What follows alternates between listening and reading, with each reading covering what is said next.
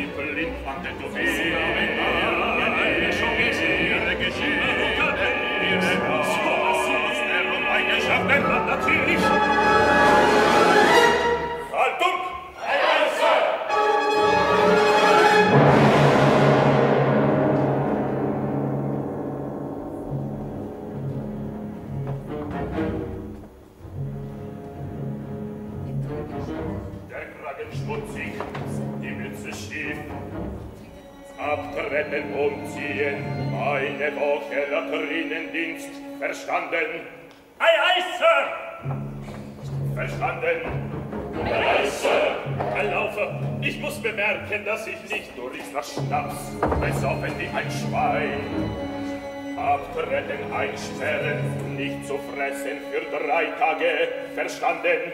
Ei, ei, Sir! Aber, ei, Sir!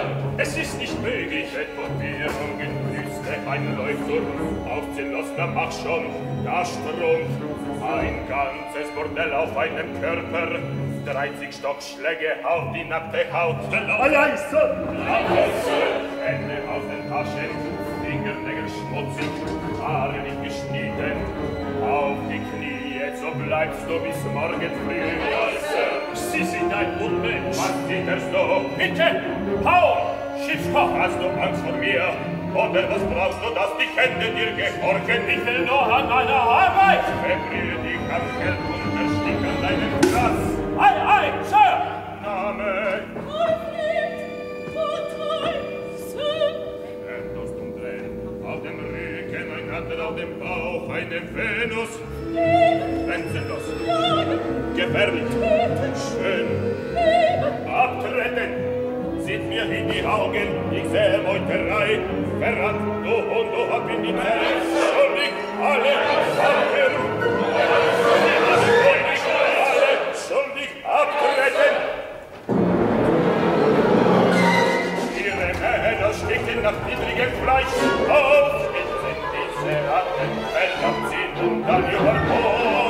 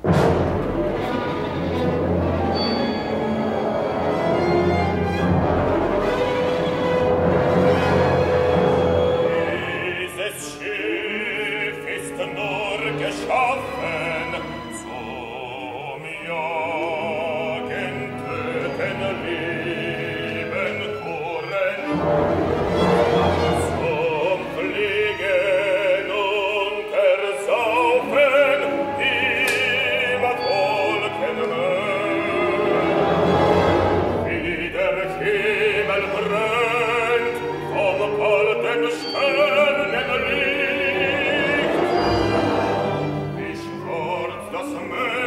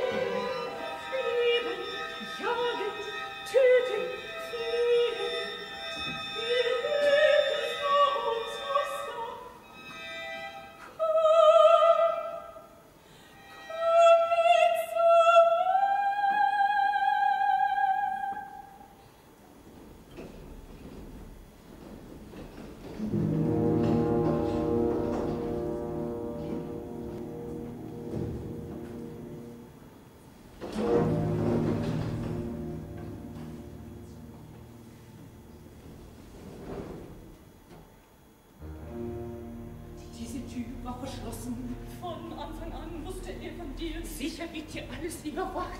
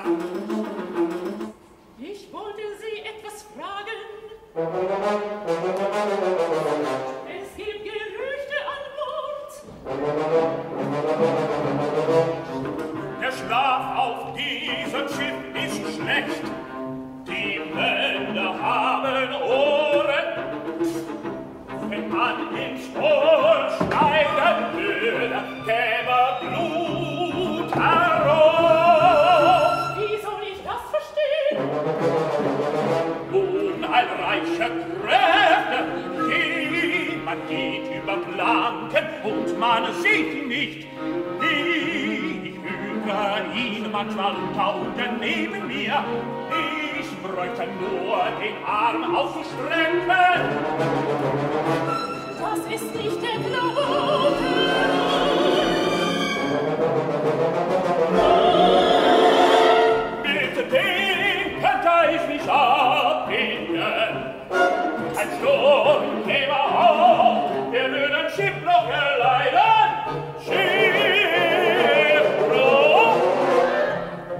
meiner und meine Gläser und meine Gläser sinken zu mir, es wohnen ganz unversehrt. Sie kamen durch das Meer und der Mond bringt sie zum Kunden. Wir hängen an den Dingen, aber die Dinge, die Kanonen,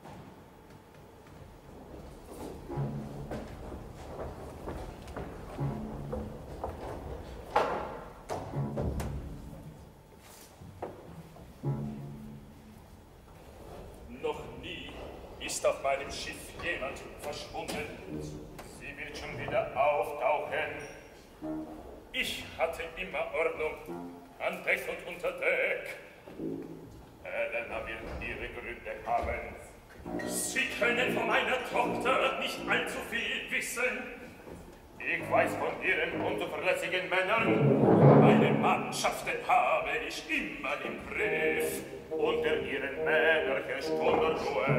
Scheinbar auch bei ihren Tochter. Warum ist Helena nicht zum Abendessen erschienen? Ich war nicht mit ihr zusammen. Sie war allein. Ich verstehe ihr Alleinsein. Herr Laufer! Wir sind verloren. Ich muss Ihnen danken, Sie haben Helena gerettet. Aber ich habe Sie gewähren, ganz kalt und unmest war sie. Lava, was haben Sie mit ihr gemacht? Gustav, wann hast du sie zuletzt